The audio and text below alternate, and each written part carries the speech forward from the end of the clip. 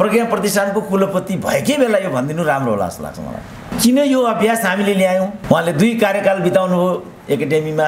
अब यो कार्यकालको अन्तिम बिन्दुमा पनि उहाँ हुनुहुन्छ जस्तो लाग्छ। त्यस कारण म के भन्छु भने उहाँले यसमा अभिलेख नै गरेर जानुपर्छ। देशभित्र मलाई त घोडामा लखेटे चढेर लखेट्छन् तपाईँलाई थाहै छ। कहाँ महिला मात्रै हुन्छन् र त पुरुषहरू पनि यस्ता हुन्छन् भनेर आजभोलि त पुरुष पनि बोक्सा हुन्छन् भनेर गोर्खामा त बोक्सा पुरुषहरू पनि पो कुटिन थाले। कोही हाम्रो यो व्यवहारको कारणले त यस्तो भइराखेको होइन? कहिलेकाहीँ यहाँको घमाइलो ठमेलको घमाइलो रत्नपारको रमाइलो धरतीमा आएपछि जानु नै पर्दो रहेछ। यो त नियमित प्रक्रिया त रहेछ नि।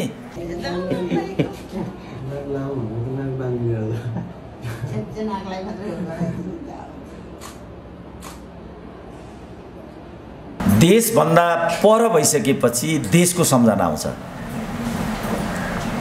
देशको छिमेकी देशको चालचलन देशको दसैँ देशको माघी देशको इन्द्र जात्रा देशको अरू चाडपर्व देशको घमाइलो रमाइलो तिज रोटेपिङ सबै सम्झना आउँछ जब देशबाट बाहिर भइन्छ।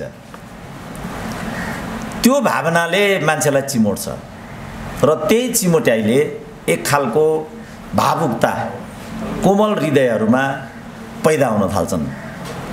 वास्तवमा त्यसैलाई उहाँले परकम्पन भन्ने शब्द राखेको होला भने जस्तो मलाई लाग्छ। किनभने कोरोनाको कुरा पनि यहाँ धेरै नै छ। त्योभन्दा पहिला हामीले भूकम्प बेहोऱ्यौँ दुई हजार बहत्तर सालमा। त्यसका झड्काहरू अहिले पनि जारी छन्। त्यो जारी हुने प्रक्रियालाई चाहिँ वास्तवमा परकम्पन भन्दो रहेछ। त्यसभन्दा पहिला परकम्पन भन्ने शब्द नेपाली बाङ्मयमा प्रचलनमा पनि थिएन। मैले त सुनेको पनि थिइनँ। परकम्पन भनेको एकचोटि भइसकेको घटना पटक पटक दोहोरिने प्रक्रियालाई भनिन्छ। एकपल्ट आइसकेको भुइँचालोलाई फेरि पटक पटक सम्झाउने प्रक्रिया नै भौगर्भिक भाषामा परकम्पन हो। अब उहाँको मनमा त्यस्तो के परकम्पन आयो? त्योभन्दा पहिला कुन भूकम्प आयो? अनि कसरी उहाँ कवि हुनुभयो त्यसको समष्टि नै यो किताब हो। जसले पटक पटक उहाँको मनमा एउटा परकम्पन ल्याइदिन्छ। हाम्रो प परकम्पन भर्खरै यहाँ पन्ध्र दिन अगाडि पनि फाइभ पोइन्ट फोरको के अरे परकम्पन गएको थियो। त्यो बहत्तर सालकै परकम्पन हो त्यो।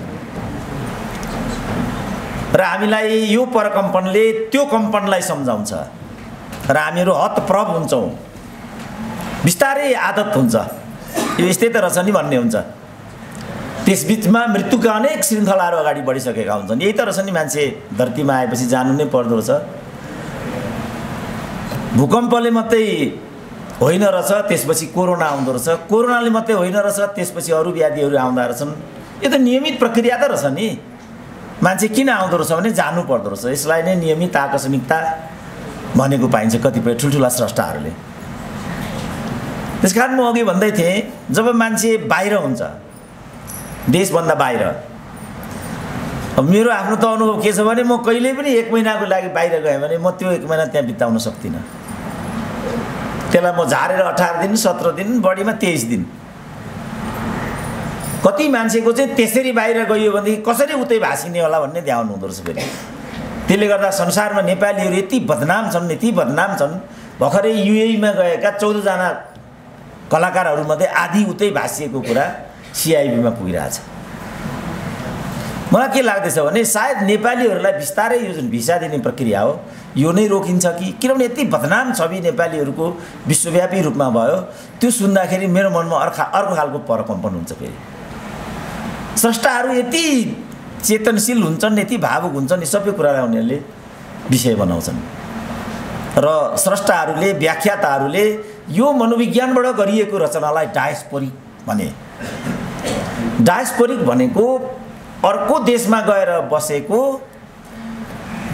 भौतिक रूपमा कुनै अर्को देशमा रहेको तर मानसिक रूपमा आफ्नो मनोभावना चाहिँ जहाँबाट जन्मेर गइएको हो त्यहाँ यदि खेल्छ भने त्यो खेलाइबाट उत्पन्न भएको जो सिर्जना हुन्छ डायस्पोरिक साहित्य भनेको त्यो हो।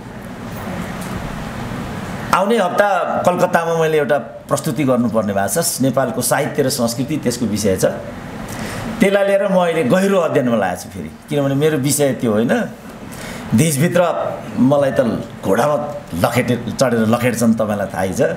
देश बाहिरबाट सानो एउटा अवसर पायो भने पनि भइगयो भन्छु म गइदिइहाल्छु। कमसेकम एउटा बाहना त मिल्छ केही साथीहरूसँग त भेट हुन्छ भन्ने लाग्छ। संस्कृतिको बारेमा त थोरै अभ्यास थियो तर साहित्यको बारेमा बिल्कुलै अभ्यास थिएन। त्यसपछि म साहित्यको बारेमा पनि के रहेछ कसो रहेछ भन्ने चिन्तनमा लाग्ने क्रम चलिरहेकै बेला बहिनीले यो कार्यक्रमको जो सन्दर्भमा हामीलाई पनि सम्झिनु भएको छ किनभने यस्तो कार्यक्रममा पनि यति तेरो मेरो छ नेपालमा प्रज्ञा प्रतिष्ठानको कुलपति भएकै बेला यो भनिदिनु राम्रो होला जस्तो लाग्छ मलाई। किन यो अभ्यास हामीले ल्यायौँ? उहाँले दुई कार्यकाल बिताउनु भयो एकाडेमीमा अब यो कार्यकालको अन्तिम बिन्दुमा पनि उहाँ हुनुहुन्छ जस्तो लाग्छ। त्यस कारण म के भन्छु भने उहाँले यसमा अभिलेख नै गरेर जानुपर्छ। जे अभ्यास साहित्य र बाङ्मय र अन्य क्षेत्रमा समेत हाम्रो रमेशजी त्रिभुवन विश्वविद्यालयसँग पनि आबद्ध हुनुहुन्छ। अहिले ठ्याक्कै तिन वर्ष भयो त्रिभुवन विश्वविद्यालयमा लकडाउन छ। त्यहाँका मान्छेको आँखा छलेर येलो पकडोमा एउटा बैठक बस्दै रहेछन् त्रिभुवन विश्वविद्यालयका पदाधिकारीहरू। विद्यार्थी सङ्गठनहरू आएर ती आएर छन् र माइनुट पत्र त्यो सबै कागज पत्र लगेर मन्त्रालयमा लगेर बुझाइदिन्छन्। अवस्था यस्तो छ। त्यो कुरालाई पनि हाम्रो दुर्गा ढकालले यहाँको समसामयिक राजनीतिसँग जोडेर यसमा उल्लेख गर्नु खोज्नु भएको छ। देशभित्रको जुन व्यथिति छ त्यसले उहाँहरूलाई पनि चिमोड्छ। हामी त्यसको भुक्तभोगी छँदैछौँ। हामीलाई एकदम असहज जस्तो पनि लाग्छ। हामीले पद्धति बसाउन सकेनौँ। हामीले परम्परा बसाउन सकेनौँ। हामीले प्राज्ञिकताको उन्नयन गर्न सकेनौँ। महान महान साहित्यहरूको सृजना हुन सकेन। महान महान हस्तीहरूको जन्म हुन सकेन। कोही हाम्रो यो व्यवहारको कारणले त यस्तो भइराखेको होइन। भन्ने चिज पनि कवि हृदयमा प्रविष्ट भइदियो भने मलाई लाग्छ त्यो पनि कुनै अनौठो कुरा हुँदैन र त्यस्तो चिजहरू पनि प्रवेश गर्नुपर्छ भन्ने लाग्छ कहिलेकाहीँ त मलाई। किनभने विकृति विसङ्गतिको जुन कुरा छ त्यो सामाजिक विकृति विसङ्गति जस्तो अघि यहाँ समीक्षकहरूले उल्लेख पनि गर्नुभयो। यो महिनावारीकै कुरा छ। यो महिनावारी भन्दा पनि जटिल छ छुवाछुतको कुरा। काठमाडौँको बत्तिस पुतलीमा सांसदहरूले दलित भएको कारणले डेरा नपाउने स्थिति त्यस्तो छ। अलिपरतिर बौद्धतिर गइसकेपछि बोक्सी भनेर महिलाहरू कुटिन्छन्। मात्रै हुन्छन् र त पुरुषहरू पनि यस्ता हुन्छन् भनेर आजभोलि त पुरुष पनि बोक्सा हुन्छन् भनेर गोर्खामा त बोक्सा पुरुषहरू पनि पो कुटिन थाले। यसलाई समानता भनेको छ हामीहरूले फेरि। यो विधिबाट निरपेक्ष रूपमा हामीले समाजका विकृति विसङ्गतिहरूलाई बुझ्ने यस्तो गल्तीहरू पनि हामीबाट बढेर गइरहेछ। यो सबै कुराहरू पनि साहित्यमा आउँछन् नै जस्तो मलाई लाग्छ। जस्तो हाम्रो यो दुर्गा ढकालको यो सिर्जनाकै कुरा गर्दाखेरि हामीले यो शीर्षकबाट मात्रै हेऱ्यौँ भने उहाँले के विषयमा बढी चिन्तन गर्नुभयो भन्ने कुरा हुँ कुदेर आइहाल्छ। जस्तो यसमा जो बिस तिसवटा जो सिर्जनाहरू छन् माथिबाट हेर्दाखेरि उहाँले पहिला त आमाकै सम्झना गरिदिनु भयो अब त आमा पक्कै यतै हुनुहुन्छ होला। उहाँ उता हुनुहुन्छ होला आमा त यतै हुनुहुन्छ होला। त्यसपछि उहाँले स्वर्ग मनुष्य मेरो देश भन्नुभयो देशमै आउनुभयो। चिन्ता त फेरि देशकै हुँदो रहेछ। त्यसपछि फेरि गाउँघरका घरहरूको व्यथा पो भन्न थाल्नुभयो भारत। एकपछि अर्को सम्झना आउँछ कि त्यहाँ गएको बेला। कहिलेकाहीँ यहाँको घमाइलो ठमेलको घमाइलो रत्नपारको रमाइलो फन हाउसको त्यहाँको रमाइलो एक्कासी मनमा आइदिन्छ। र यदि ऊ स्रष्टा हृदयको हो भने उसले त्यसलाई चाहिँ अभिव्यक्तिमा कैद गर्ने। यो सोच छ। र त्यही क्रममा चाहिँ यस किसिमका सिर्जनाहरू जन्मिन पुग्छन् जसलाई उहाँले मन भनिदिनु भएको छ। अब यतिले उहाँलाई पुग्दो रहन्छ तलतिर पुगेपछि उहाँ के भन्नुहुन्छ? जन्मस्थल हाङदेवा जहाँ उहाँ जन्मिनुभयो। मान्छे अमेरिका जानको लागि मान्छे युरोप जानको लागि मरियत्ते गर्छन्। मरियत्ते गरेर पुग्छन्। तर पुगेको भोलिपल्ट उनीहरू अब त्यो नराम्रो शब्द प्रयोग गर्दा कस्तो हुन्छ भने डिप्रेसनतिर फस्छन्।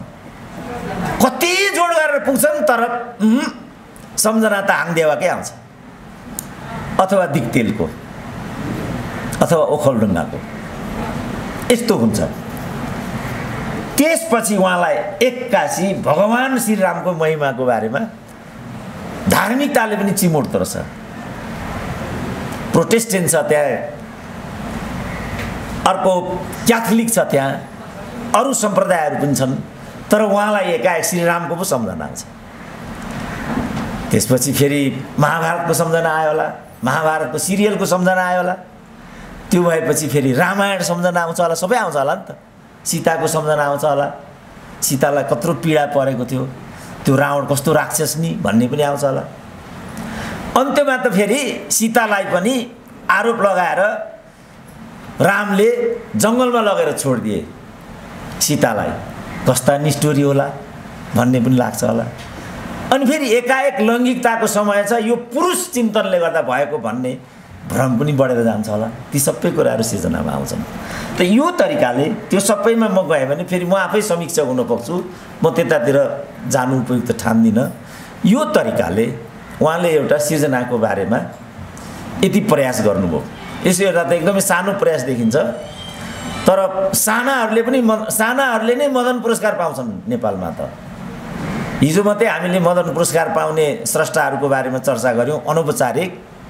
पाँच वर्ष अगाडि मदन पुरस्कार पाउने घनश्याम पणेलको जो कृति थियो त्यो कृति जम्मा अडतिस पेजको थियो।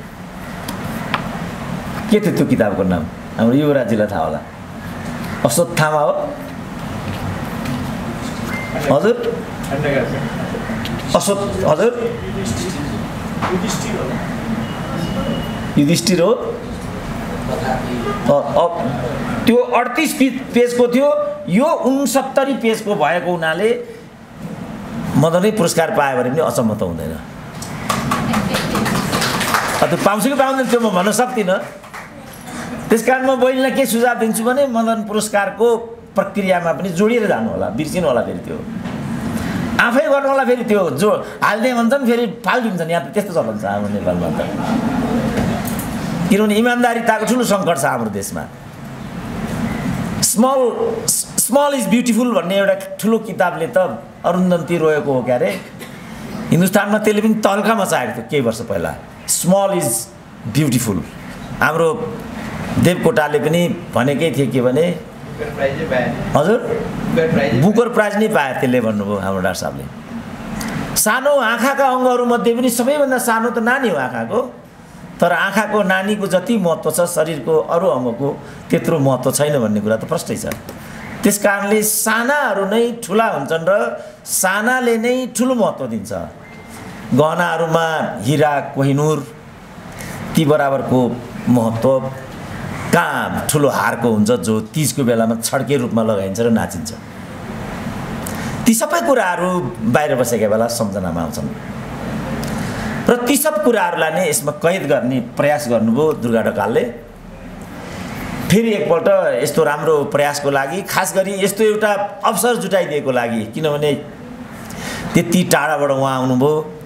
हामीलाई जोड्नुभयो। हामीले यति गर्न सकेका थिएन। हामी यहाँ सावादिनका ताप्लेजुङका आङदेवाका फुङलिङका भन्छौँ। त्यो नाममा यति जिल्लावासीहरूलाई र अन्य साथीहरू पनि छौँ हामी यहाँ। हाम्रो ओम शान्तिको यति राम्रो गुरुसँग अघि सद्बुद्धि पनि अलिकति पायौँ हामीले। यो एउटा अवसर हो यसलाई हामी ठुलो एउटा अवसरको रूपमा पनि लिन्छौँ। र यसलाई मनमा सजाइराख्छौँ साँचिराख्छौँ फेरि यस्तो जमघट यस्तो सङ्गम कहिले हुन्छ होला भन्ने भावना मनमा साँचेर हामीहरू बाहिरिन्छौँ। त्यस कारण फेरि एकपल्ट यति राम्रो अवसर जुटाइदिएकोमा पनि बहिनीलाई म धन्यवाद दिन चाहन्छु चाहन्छु। यो कृतिको पूर्ण सफलताको पनि कामना गर्न चाहन्छु। र नेपाली वाङ्मय र साहित्यको भण्डारमा जे योगदान र जोडाइ उहाँले आफैलाई गर्नुभएको छ यसको निरन्तरताको अपेक्षा पनि तपाईँहरू सबैको तर्फबाट राख्न चाहन्छु र बिदा लिन्छु। धन्यवाद। एउटा नयाँ कृति दिएर हामी सबलाई यहाँ भेला हुने अवसर प्रदान गर्नुहुने पोएट्री दुर्गा ढकालले र सानो कृतिमा गहन मन्तव्य व्यक्त गर्ने हाम्रो समीक्षकद्वय अनि विश्लेषक प्रोफेसर केसीजी भट्टराईजी प्रोफेसर भट्टराईजी शान्तिमा गिरिजी र यहाँ उहाँलाई प्रोत्साहित गर्नका निमित्त उपस्थित हुनुभएका उहाँका परिवारजनहरू गाउँका साथीहरू उहाँका सहकर्मीहरू र धेरै धेरै उपस्थित महानुभावहरू यहाँलाई हार्दिक अभिवादन छु। सर्वप्रथम म दुर्गा ढकालजीलाई हार्दिक बधाई दिन्छु कि एउटा नारी हस्ताक्षरको रूपमा नवोदित नारी हस्ताक्षरको रूपमा नयाँ एउटा कविता सङ्ग्रह लिएर चालिसवटा कविताको सङ्ग्रह लिएर उहाँ नेपाली साहित्यिक इतिहासमा उपस्थित हुनुभएको छ। त यो एउटा उहाँको आगमन नेपाली साहित्यिक जगतमा एउटा नयाँ आगमन हो त्यसको निम्ति म उहाँलाई बधाई दिन्छु। त यो कृति को बारेमा धेरै विवेचना भइसकेको छ। त मैले यसलाई कसरी लिएको छु भने दुर्गा हाङदेवा जन्मिनु हाङदेवाकै आसपासका परिवेशका हामी यहाँ धेरै छौँ। हजुर केसी हुनुहुन्छ म यता हासाईतिरको भट्टराईतिर हुनुहुन्छ। सर्लाईमा उहाँको बसोबास हो। त्यसबाट आफ्नो असल सम्भावनाहरू जीवनका सम्भावना खोज्दै उहाँ बेलायत जानु बेलायतमा पनि उहाँ रेडिङमा बस्नुहुँदो रहेछ। जुन रेडिङ मेरो निमित्त आफ्नै गाउँ जस्तो छ के धेरै मेरा शाखा सन्तानहरू त्यहाँ छन्। तिनीहरूसँग सहकार्य गर्नुभएको रहेछ उहाँले। किताब विमोचन गर्न आएर परिचय दिँदावधि मैले थाहा पाएँ। त रेडिङमा लगभग चौध वर्षको वर्ष उहाँले बिताउनु भएको छ रहेछ। त्यहाँ बस्दा उहाँले बाहिर बस्दा हुँदै जो कोहीलाई पनि के पहिलो के कुरा हुन्छ भने हामी जहाँ गए पनि हाम्रो भूगोलको चेतना लिएरै गएका हुन्छौँ सांस्कृतिक चेतना लिएरै गएका हुन्छौँ आफ्ना संस्कारहरू लिएरै गएका हुन्छौँ। र जहाँ गए पनि हामी एउटा व्यक्ति मात्र जाँदैनौँ। व्यक्तिको साथमा धेरै चिजहरू जानेर नजानेर त्यसको भारी बोकेर हामी गएका हुन्छौँ। र त्यहाँ जब पहिचानको सङ्कट पर्छ नयाँ ठाउँमा आफूसँग मिल्ने आफ्नो भूगोल जान्ने आफ्नो संवेदनलाई बुझ्ने मान्छेहरू थोरै हुन्छन् त्यति बेला पहिचानको सङ्कट हुँदाहुँदै सर्वप्रथम बाहिर जाने मान्छेहरूलाई चाहिँ आफ्नो जन्मभूमिप्रति आफ्ना परम्पराप्रति आफ्ना संस्कारप्रति आफ्ना बन्धुप्रतिको न्यास जसलाई नोस्टाजिया भनेर भन्छ त्यसले बडो चिमोट छ। र त्यो चिमोटता हुँदै व्यक्ति त सबै व्यक्तिमा आफ्नो एक प्रकारको संवेदनशीलता हुन्छ।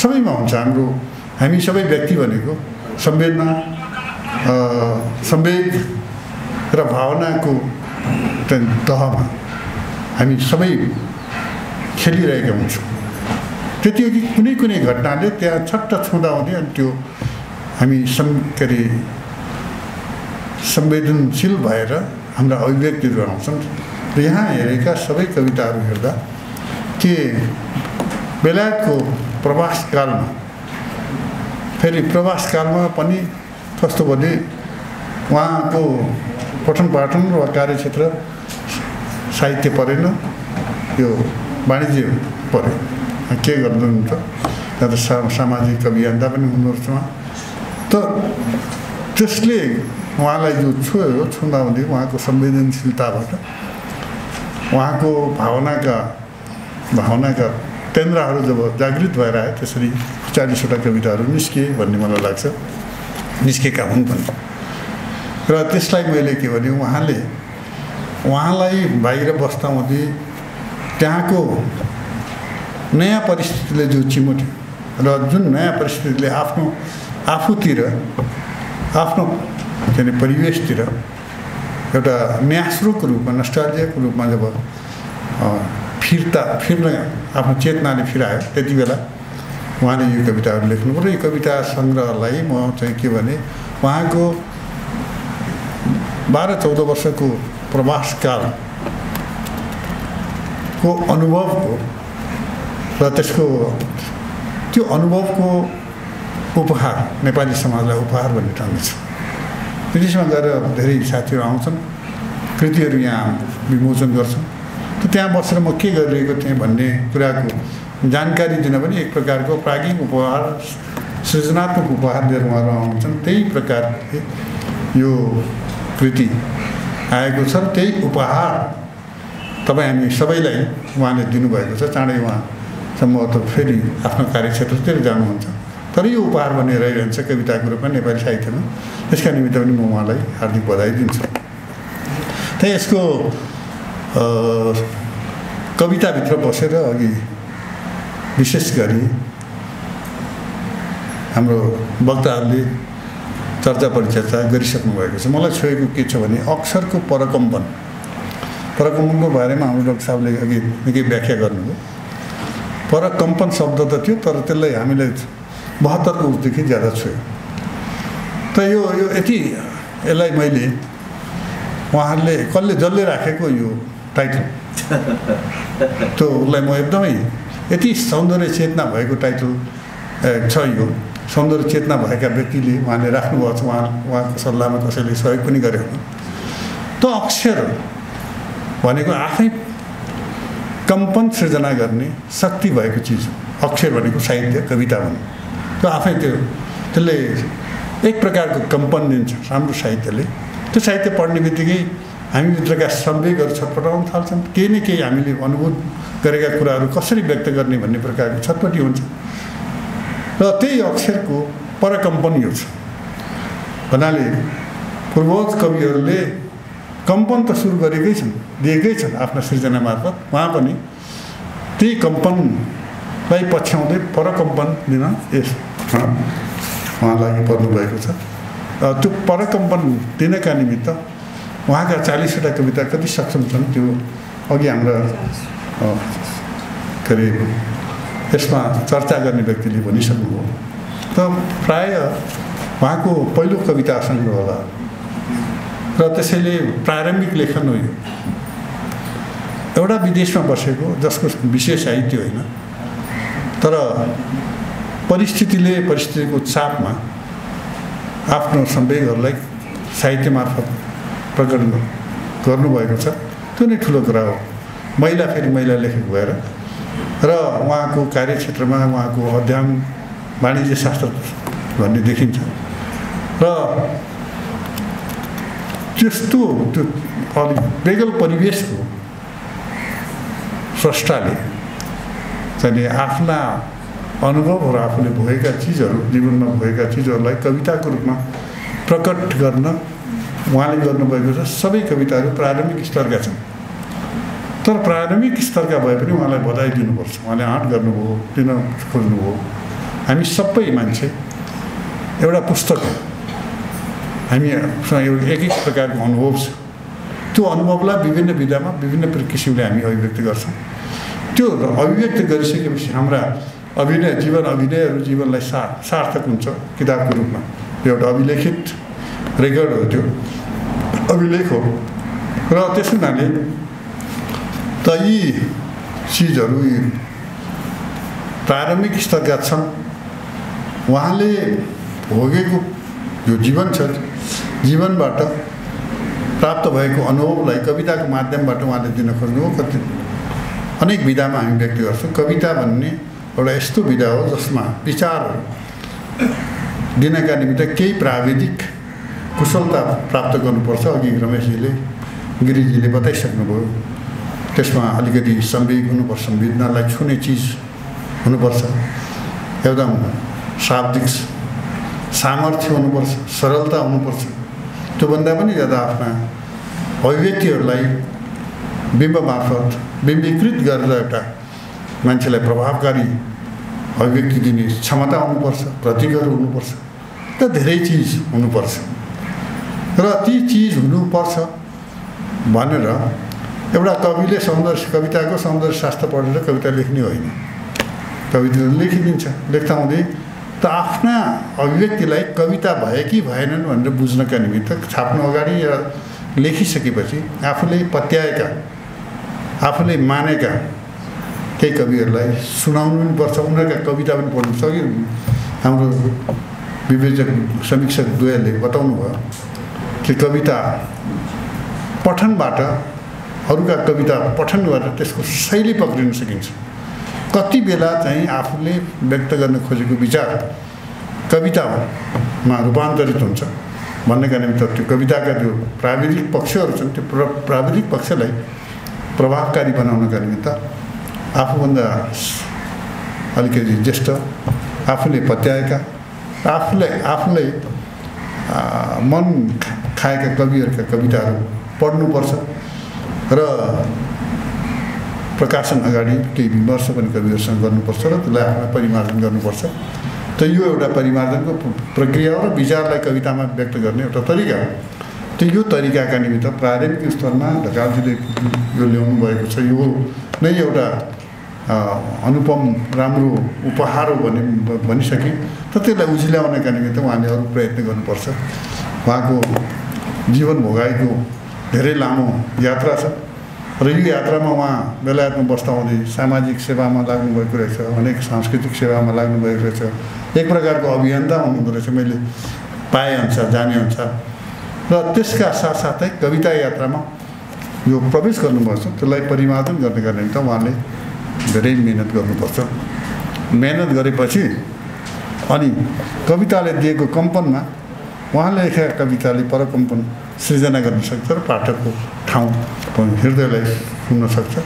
यसका निमित्त धेरै सम्भावना छ उहाँसँग। र यसका यसभित्र म पसेर यसका विविध विषयहरूतिर म जान्न साथीहरूले बताउनु भयो यहाँ आध्यात्मिक चेतना छ यहाँ चाहिँ नि मुलुकको प्रकृति छ यहाँ चाहिँ नि संस्कारप्रतिको विरोध छ। त्योभन्दा पनि ज्यादा विदेशमा बसेर स्वदेशका बन्धुहरूले पाएको त्यो पीडाको व्यथा छ। र कोरोना सम्भवतः उहाँलाई यो कोरोना पछि जुन प्रकारले पीडा भयो त्यहाँ यो त संसार विश्वव्यापी पीडा भयो। यहाँ हामीमा यो पीडा भयो। त्यो पीडाले छोयो केही देशवासीहरूलाई सम्झनु भयो कोही कविताहरू जन्मिए त ती पीडाहरू छन्। र धेरै चिज छ। त यी विषयको विविधताबाट आफूले प्राप्त गरेको अनुभव र त्यो अनुभवले सृजना गरेको विचारलाई कवितामा प्रस्तुत गर्नका निमित्त उहाँले अभ्यासको धेरै आवश्यकता छ। त्यो अभ्यास भनेको सौन्दर्य शास्त्र पढेर प्राप्त गर्ने होइन अनुभवको आवश्यकता छ। त्यो भनेको स्तरीय नेपाली साहित्यमा स्थापित कविहरूका कविताहरू पाइन्छन्। त्यो कविताहरू हेरेर पढेर कि आफ्नो अनुभवलाई कविताको रूपमा प्रस्तुत गर्न के के सिप चाहिँदो रहेछ भन्ने कुरा स्रोत आउँछ त्यतातिर गर्नुहुन्छ। प्रारम्भिक कविता हो यो। तर उहाँका धेरै सम्भावनाहरू छन्। यी सम्भावना बोकेर उहाँ चाहिँ नेपाली साहित्यमा एउटा नारी हस्ताक्षरको रूपमा आउनुभएको छ। उहाँलाई मैले स्वागत गरिसकेँ। र त्यसलाई एकदम निरन्तरता दिनका निम्ति। त्योभन्दा पनि उहाँ यहाँ आउनुभयो यत्रो बिना मान्छेको उपस्थिति छ। यो उपस्थितिको के अर्थ छ? यसको अर्थ के छ भने तपाईँले गरेको सृजनालाई प्रेरित गर्नका निम्ति मान्छेहरू सबै आएछ। यो सबैको उपस्थिति सबैले दिएको प्रेरणाले तपाईँको यो सृजना यात्रा निरन्तर रहनेछ र तपाईँलाई शुभकामना व्यक्त गर्छु। र यति राम्रो कार्यक्रम यहाँ हाम्रो नेपालमा केही साथीहरू छ। त्यो साथीले विदेशमा काम गर्ने साथीहरूलाई जोड्छ। त्यसमा ऋषभजी पनि हुनुहुन्छ। ऋषभजीको राष्ट्रिय प्रतिष्ठानसँग उहाँ कसरी जोड्नुभयो त्यो थाहा त छैन तर यो मसँग उहाँहरू दुईजना आउनुभयो आफ्नो परिचय दिनुभयो र परिचय दिन दिँदै अनेक प्रकारले हाम्रो स्रष्टा त मसँग जोडिएको हुनुहुँदो रहेछ। र त यसलाई जोड्नका निमित्त यत्रो त यो कार्यक्रमको आयोजना गरेर यो राष्ट्रिय साहित्य प्रतिष्ठानले जो काम गरेको छ त्यो कामको सराहना गर्छु। उहाँलाई पनि धन्यवाद दिन्छु यो किताब प्रकाशन गर्नेलाई पनि म धन्यवाद दिन्छु। र अन्त्यमा फेरि दुर्गा ढकालको उहाँको छोरी पनि हुनुहुन्छ होला यहाँ। उहाँको हस्बेन्ड कतै यहाँ हुनुहुन्छ यहाँ हुनुहुन्छ कि हुनु हुनुहुन्न। तर कहीँ त हुनुहुन्छ। उहाँको सफलता भनेको तमाम परिवार केही न केही यो निर्माणमा उहाँहरूको भूमिका छ। उहाँहरूको पनि के भने केही न केही भूमिका छ। विशेष गरी एउटा स्रष्टा महिला स्रष्टाको सफलता उसको जीवनसाथीको सहयोगमा र एउटा पुरुष स्रष्टाको सफलता उसको महिला साथीको सहयोगमा भर पर्छ र यो धन्यवादको पात्र स्रष्टा मात्र होइन स्रष्टाको जीवनसाथी पनि हुन्छ। उहाँलाई पनि बधाई दिँदै आफ्नो मन्तव्य दिनु धन्यवाद। अक्षर कविता हो वरदान सरस्वती को महामानव मंच मन से पूजन करता अक्षर को अक्षर एक शक्ति हूँ पारने जीवन सार्थक बुझेर अक्षर को खेती करे। हुँदैन जीवन निर्थक अक्षर सृष्टि सृजना गरौँ सधैँ आराधना। ज्योति बनेर ज्ञानको बढ्दै जानेछ चेतना स्वाभिमानी स्वतन्त्र अक्षर देवतका मूल मन्त्र हुन्